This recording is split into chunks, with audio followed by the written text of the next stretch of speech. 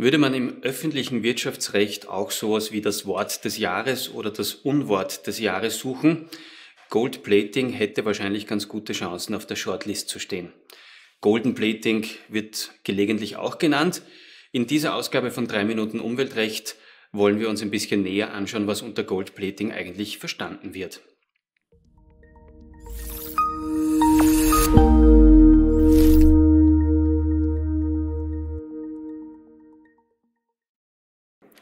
Grüß Gott, mein Name ist Peter Sander von der Umwelt- und Vergaberechtskanzlei Niederhuber und Partner mit Sitz in Wien und in Salzburg. Was ist Gold Plating?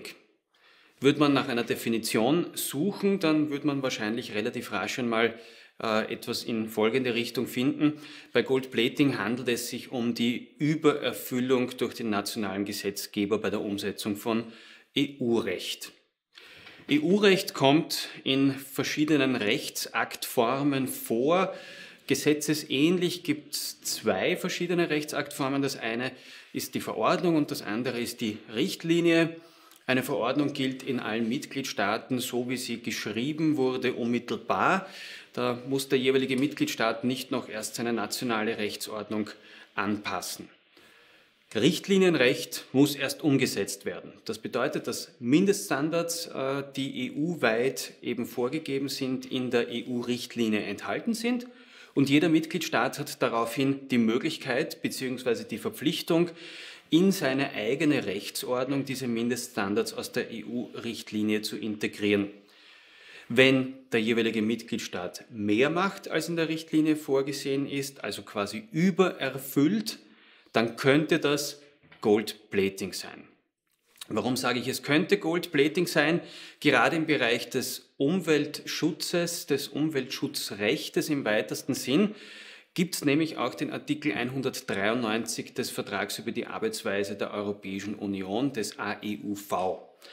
Und genau in diesem Artikel 193 ist im Wesentlichen enthalten, dass Mitgliedstaaten gerade um ein besonders hohes Umweltschutzniveau sicherzustellen, natürlich auch strengere Regelungen erlassen können, als nur die Mindeststandards von beispielsweise eben EU-Richtlinien harmonisierend zu übernehmen.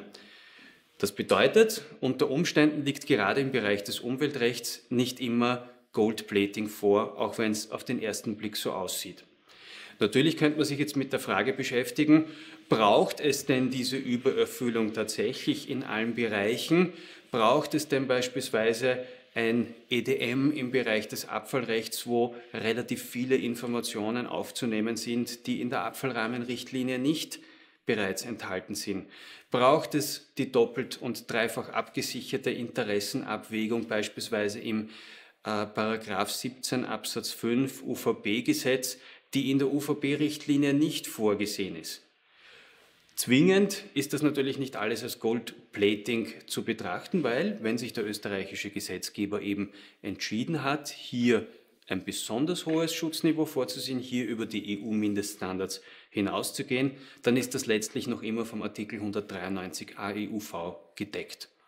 Ob es gesellschaftlich, ob es politisch erwünscht, gewollt ist, das ist natürlich eine andere Frage, das ist keine rechtliche Frage mehr.